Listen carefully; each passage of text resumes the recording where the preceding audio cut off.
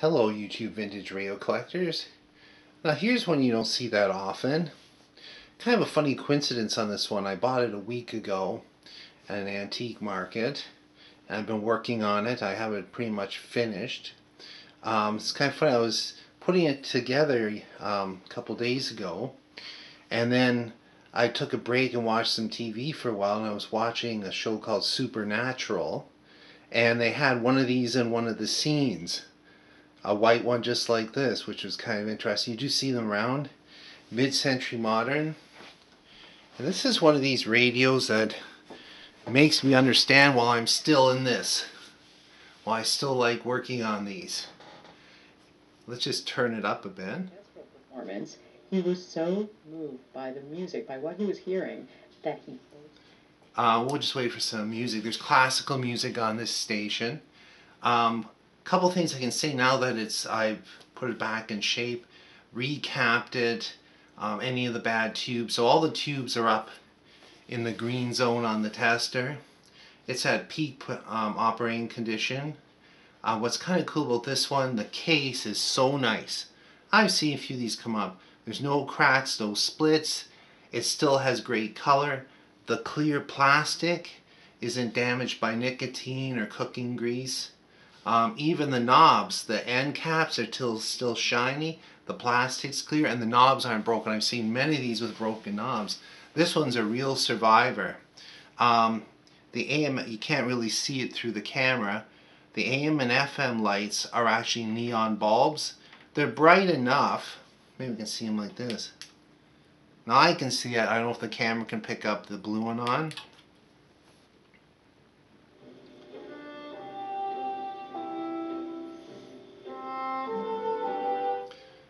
Couple things I notice about this radio, it has superb sound. Two 4-inch speakers, and they're quality 4-inch speakers. Um, an extra large output transformer. It's driven by uh, 50C5, so it's not a lot of power, you know, a watt. But it just has great sound. Like there's a certain a depth to it. And it's not a stereo radio. It's a mono two-speaker radio. But it has that tube sound. It has that old tube magic. Um, and the reception on AM it gets every station that I can get with the best of other radios. The FM reception is superb. Like the stations come out of dead quiet.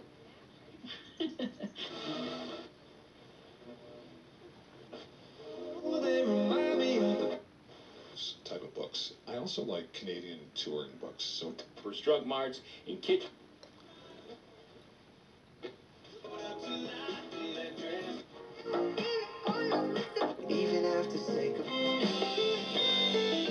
It has a muting circuit and AFC, which was a little bit ahead of its time.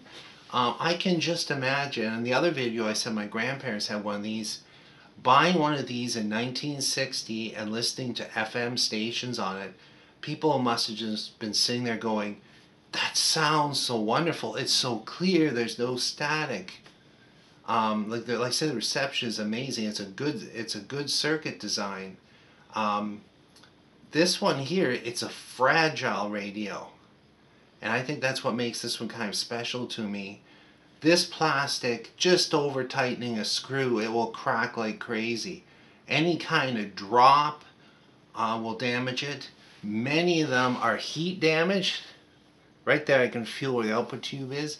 There's a foil piece in there. The foil falls off and uh, the plastic warps and then it cracks. I've even seen them with burn marks right through the plastic because it's thin.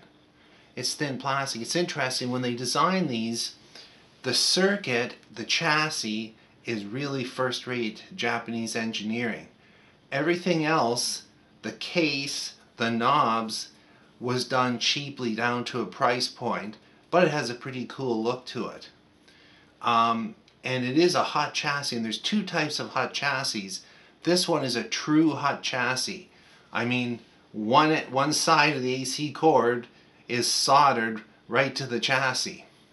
There's others that are actually a floating hot chassis. A lot of the American radios, Canadian radios are like that, where you have a bus wire running through the chassis, which is your B minus, and a capacitor resistor that holds the chassis just off ground.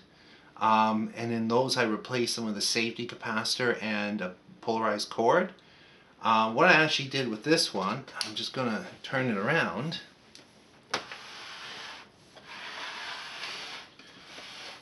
I put a new wire on it for antenna, but it already had an interlock system.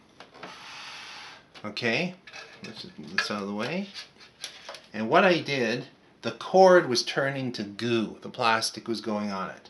So what I did was, I have a bunch of these polarized cords from um, cheap tape recorders and radios and stuff. So what I did is I shaped this so that this can only go in one way and that's with the neutral wire on that side. So the chassis will be at neutral and it really lowers the risk. And so now it has a modern cord. And when you can see the condition of the masonite. What amazes me is just with a little bit of wire, the FM stations it can pick up. It's just amazing. Anyway, thanks for watching and listening.